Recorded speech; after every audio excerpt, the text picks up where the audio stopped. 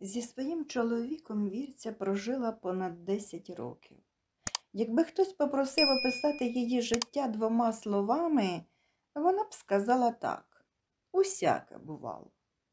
Валерій був не те, щоб скупим, але заощадливим. Тримав на базарі малий бізнес і мав з того чималий прибуток. Купив у помешкання новий диван, змінив вхідні двері, а от щоб доньці дати гроші на літній табір у Карпатах. А навіщо? Не лише на табір, навіть на нові черевички не дав. Вірця знала, що чоловік гроші має і ретельно складає на кубку. Навіть знала, де їх складає, бо решту відносить у банк на депозит. Такий її Валерка вдався у свого батька, хоч вірця ніколи не бачила свекра, бо той пішов, коли Валерчикові було лише три рочки. Так син одинак жив із матусею. Був їй замінником батька, сина, господаря, допомогою був також. Навіть дивно, як же свекруха ще не приревнувала невістку до свого єдиного. Вірця знала чому. Віра Павлівна знайшла собі душевного друга і перемкнулася на нього. Та ще й тому, що називались вони обидві вірами. Після першого року подружнього життя Вірця народила чудову донечку. Вагітність здавалася жінці непросто, Валерчик нервувався. Віра Павлівна мало не щодня давала слушні і не дуже доречні поради. Та нічого. На світ з'явилася здорова і гарна дівчинка. Назвали її на честь Валерикової бабусі Нікою, Веронікою. Усі на В, от і нехай. Вероніка погано спала ночами. Невиспаною була й вірця. Уже було не сила відводити увагу й Валерикові. Добре, хоч свекруха варила їсти і прибирала, та й бігала до свого друга.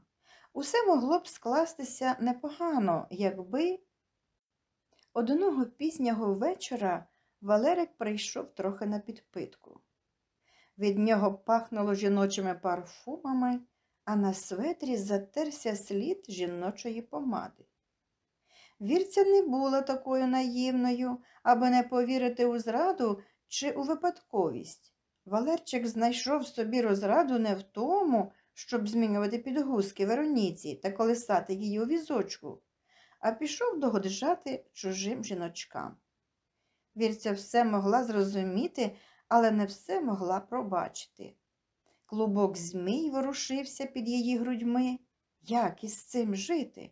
Що робити і чи влаштовувати чоловікові розбір польотів? Дитинка ще маленька, а вірця не поїде в містечко до батьків і не залишить усе. Що скаже батькам? Терпи, жінко, хто терпен, той спасен. І вірця терпіла, аби зняти стрес, ходила полоти грядочку, яка була перед вікнами, допомагала. Дівчинка вже почала на ніжки зводитись. Валерка отямився. Почав приходити додому раніше, від нього вже не пахло чужими жіночими парфумами, а розмови з ним стали довшими і теплішими. Тепер вони говорили не лише про те, що є попоїсти і чому ніхто не закинув у пральку його улюблені джинси. Коли Ніка пішла до школи, вірці стало трішки легше. Ні, ні. Не тому, що вона сиділа вдома і випікала булочки, як зразкова господиня. Вірця повернулась на улюблену роботу, очолила відділ і наважилась на стосунки зі своїм значно старшим керівником. Вона б, може, того й не робила, але той запах чужих жіночих парфумів і слід помади на светрі ходив за вірцею не один рік. І через це вона вирішила, чи посміла взяти реванш. Саме тому тепер більше заробляє і може відкласти. Ех, Олеже Петровичу, життя таке незбагненне. Та останніх півтора року з її чоловіком почало коїтися щось дивне, та й не лише з ним. У молодій Україні почалися турбулентності, перехідні періоди, кризи, випробування на міцність. Словом, пливіть гірською річкою з життя ви всі мирні жителі. Валерчин бізнес тріщав по швах, але в нього була надійна фінансова подушка. Вероніка росла і розвивалась. Вона сама записувалась на гуртки, вчилася рукоділля, багато читала, а згодом вирішила, що коли виросте, стане журналісткою. Свекруха Віра Павлівна переїхала до свого душевного друга і дала їм чистий спокій. Звільнилась її кімната, куди успішно переїхала доця. Здавалося, життя стало на рівні рейки і їде впевнено до наступної зупинки. А наступною зупинкою виявилась друга вірчена вагітність. Вона почалася іще гірше, ніж перша. Вірця ледве досиджувала на роботі, часто ходила на обстеження. Лікарі переконували лягти на збереження. Чоловік і свекруха взялися вмовляти вірцю, що ця дитина зайвий клопіт. Он Україні таке коїться, що на голову не налазить. А ну ж завтра доведеться пакувати валізи і кудись емігрувати, а вона в декрет зібралася. Вірця дізналася, що в неї мав бути хлопчик, але його не буде, бо ця дитина нікому не потрібна. Це бідолашне дитя ще не народилося, а вже його ніхто не чекає, навіть вона. Прикро. Чоловік тільки раз чи двічі пошкодував вірцю після аборту. Сказав, що не вона перша і не вона остання, а тоді запевнив, що так буде краще для них усіх. А вірці ночами снився дитячий плач. Хлопчик кликав її уже з того світу, називав мамою. Чоловікам того не зрозуміти. Тепер хлопчикові було б уже півтора року. Він би чеберяв ніжками чи бігав по мешканням, але в них удома спокійно, бо Вероніка у школі, Валерка на роботі, а вірця готує звіти і час до часу усміхається Олегові Петровичу. Життя знову стало на рейки. І от пішла смуга тотального чоловікового жлобства, бо ніяким іншим словом це не назвеш скупий, заощадливий, практичний. Одну дитину має та й тій не дає грошей на черевички. Вероніка ж не просить на дурниці. Дівчинка модна, має смак.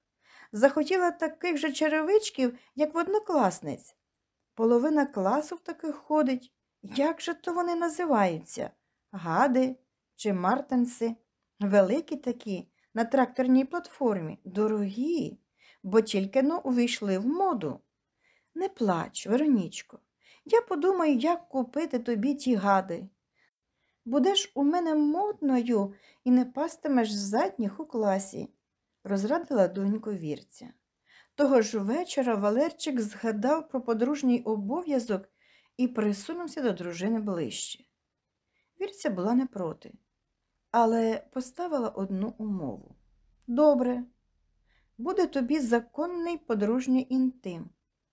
Але відтепер я спатиму з тобою не як жінка, а як коханка. Тобто, сполошився Валерчик, а от так, що за інтим тобі доведеться платити. Та ну, Вірко, чи ти збожеволіла? Ніколи такого не було. А тепер буде. Тому як собі хочеш. І вірця повернулася спиною, аби не засміятися просто в обличчя своєму благовірному. Таки будуть у доці ті гади, будуть. Скільки? Коротко випалив Валерка, бо не любив багато говорити. Сьогодні нехай буде дві тисячі, сторгувалась вірця, бо гади для доньки коштували дві з половиною. Що ж, п'ятсот вона додасть. Валерка мовчки витягнув з гаманця дві тисячі і засунув їх вірці за пазуху. Втім, довго чекати не став, а відразу в ту пазуху і пірнув. Вірця мала розкішний б'юст, Тому Валерчик готовий був заплатити й більше, аби не забути смак і тепло любого тіла. У вірці також з'явився настрій до розваг. Так воно все гарно і відбулося цієї ночі, як на диво.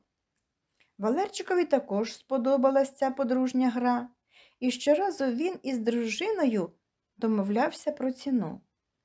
А одного разу навіть оплатив ніч у дорогому готелі, де вони з вірцею зустрілись, ніби чужі люди. Така була умова. Валерчик спочатку і не пізнав дружину. Вірця одяглася у діловий костюм і взяла валізу, наче приїхала здалеку. Тієї ночі жінка вимастила Валерчикові светр червоною помадою так непомітно, що наступного дня вже вдома довго допитувалася, хто ж це його так. Валерка червонів, як хлопчисько, виправдовувався. Він тоді добряче отримав на горіхи. Хтось би покрутив пальцем біля скроні, якби дізнався про їхні ігри. Знаю точно, що першою здивувалась би Віра Павлівна. Де така чудосія на світі є, щоб жінка з чоловіком спала за гроші? Подуріли чи що? Тож усе таки подружній обов'язок, а не купівля-продаж. Ну, то залежить, з якого боку подивитися, правда ж? І чи є в цьому гріх або зрада? А ви як гадаєте?